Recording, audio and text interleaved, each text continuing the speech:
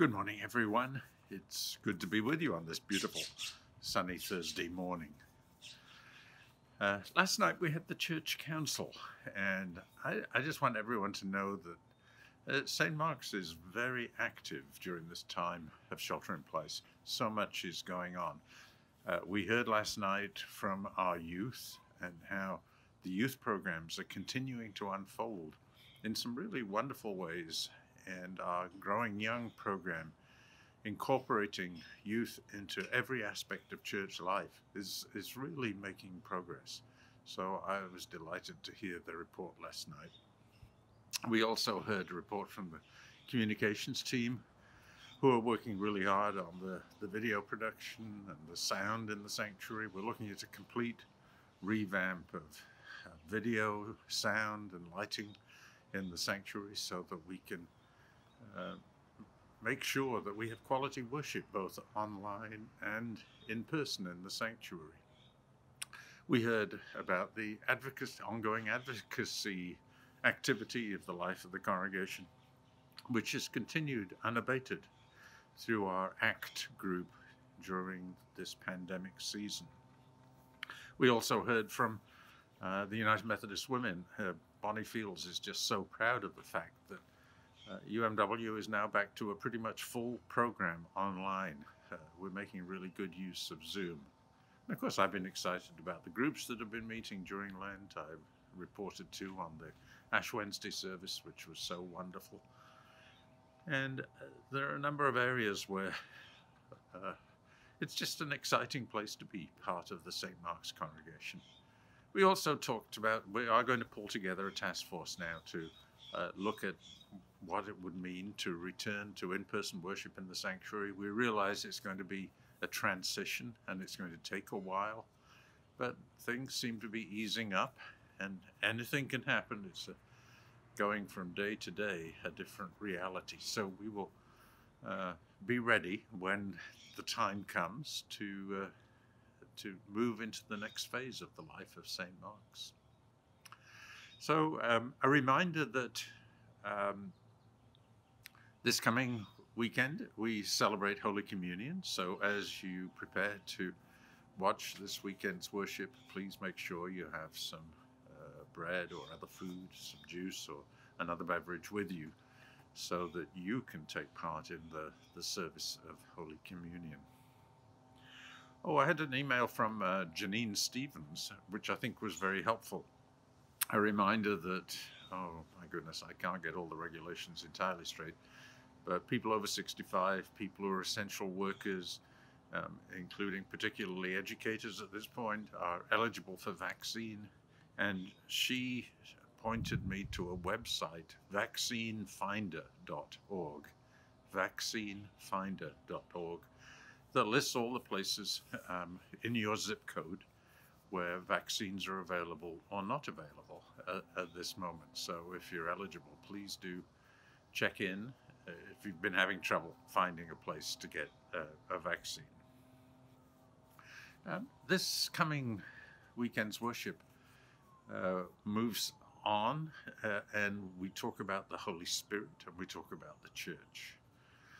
Uh, the Holy Spirit, I think, at times has been confusing for people, especially when you've heard so much talk about the Trinity, about Father, Son, and Holy Spirit. And that has been a helpful model for people down the centuries.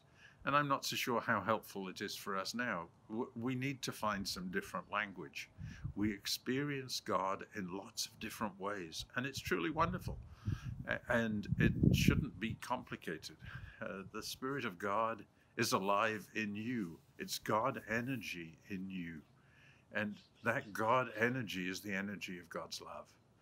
And it's really something worthy of great celebration, and and, uh, and also it, it's transformative. It makes your life very very different. And part of that is that the Holy Spirit is alive in you not only for your own benefit, but to enable other people to grow in their life of faith and love. So it's a community event, this Holy Spirit, this gift of God's love. And that's why we have the church. And the church is a community designed to, um, to help people to uh, affirm that love within themselves and, and to share it and to build each other up in their awareness and their tuning into the power of God's love in their lives. So I, I think uh, this is all very exciting. And uh, I say at the beginning of my sermon that I, I don't understand why people the world over aren't clamoring to get into church so that they can find out more about how to tune their lives into God's love energy. So, with those thoughts in mind, I invite you to join me in a prayer. This prayer, um, I think I've used before, but right back at the beginning of the pandemic. Uh, it's from Julian of Norwich, the great saint of the church in the 14th century in England. Uh, she was an extraordinary woman. We know nothing really about her, or very little about her. We know that she was born in 1343, and she was six years old when the Black Death hit. So she lived her whole life with plague around her. And, and some sources say that her family were killed by the, the plague. We don't know all the details. But as well as the plague, there was a lot of civil unrest. There was what's called the Peasants' Revolt, and there were other uh, insurgency disturbances in, in Norwich during her lifetime.